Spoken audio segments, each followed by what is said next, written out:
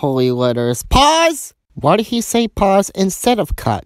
I don't mind asking, but is there any reason why you would say that? Because a random TikToker said I looked like an idiot saying cut.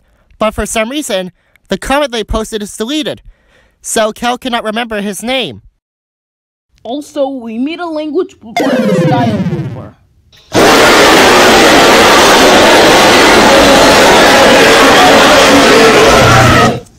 What the what? Is this some kind of joke or what? And you guys are in the Kyrgyz alphabet song styles. Who's responsible for this? Actually, it was H's fault. It's okay, let's just change the language back to normal and then we can go to take 36. As well as the style blooper too.